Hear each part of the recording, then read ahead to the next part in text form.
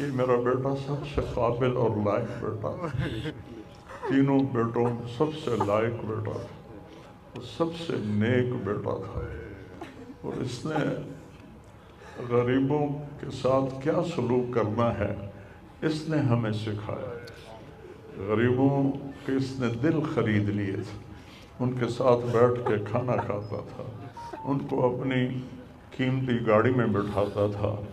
जो लोग अपनी गाड़ी के करीब किसी को ना गुजरने दें, वो उनको उन्हीं गंदे कपड़ों के साथ, यहाँ एक पागल रहता है। वो मैले, कुचैले, गंदे कपड़े, पेशाब बीच में किया हुआ, उसको उठा के और अपनी गाड़ी में बिठाता था। वो सारी सीट ख़राब हो जाती थी, लेकिन वो उसको अपनी फैक्ट्री में ले जाता। फिर नाई को बुलाकर उसके बाल कटवाता उसको नहलाता, उसके कपड़े बदलवाता। इस पूरे गाँव में वो पागल सिर्फ़ एक शक्ल को जानता है और एक नाम को जानता है। वो नाम तो पुकार नहीं सकता था, कहता, मियाँ मियाँ मियाँ। ये उस, ये सिर्फ़ एक इस इस आसिम जमील को वो जानता है, जो आज हमसे रुखसत हो गया और यहाँ हम बेबस हैं और अल्लाह की तकदीर पर हम राज़ी हैं। इस बच्चे ने वो काम किया इलाके में जिसको मैं अपनी तारीफ़ ना हो जाए। ये अल्लाह की अमानत थी। अल्लाह ने इसको अपने पास बुलाया। लेकिन बहुत कम वालदेन को ऐसी औलाद मिलती है। बहुत कम वालदेन को ऐसी औलाद मिलती। है और उसे जवानी में अल्लाह ने बुला लिया। मैं राज़ी हूँ। मेरा सारा ख़ानदान भी राज़ी है, लेकिन ये रोना तो मेरे बस में नहीं। और ये मेरा बच्चा, ये अल्लाह की मोहब्बत में ऐसे तड़पता था, जैसे किसी को कोई ज़ख्म हो जाए और वो तड़पता है।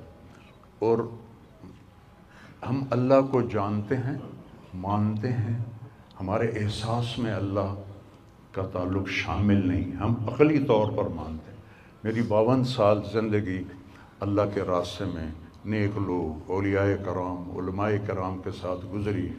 मैं बाप होने की वजह से नहीं कह रहा मैं आपको यकीन से कह रहा हूँ, जैसी तड़प इस बच्चे में अल्लाह की मोहब्बत की थी, मैंने कभी नहीं देखी। ये दो दो घंटे मुझसे बात करता था और मैं ऐसे बैठ के सुनता रहता था।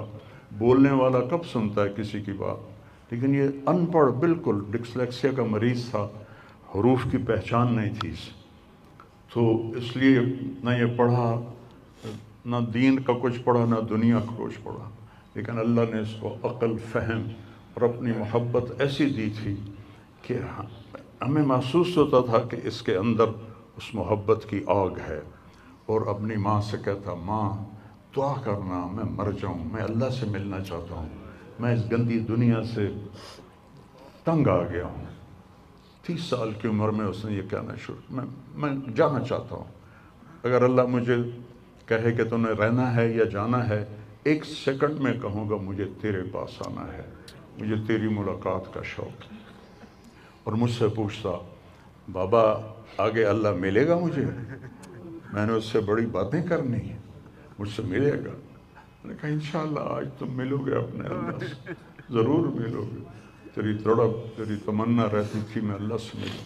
तो मैंने अपनी ज़िंदगी में सिर्फ़ एक आदमी, एक देखा है, ये बच्चा, जिसके एहसास में अल्लाह की मोहब्बत थी। एहसास जैसे हमारे दर्द हमारे एहसास में भी जब शामिल होता है, फिर हम हाय हाय करते हैं।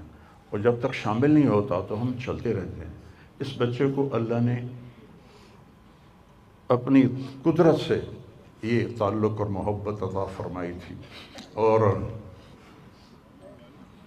बस मैं और क्या तारीफ़ करूँ? मेरा तो सीना वैसे ही ज़ख्मी है।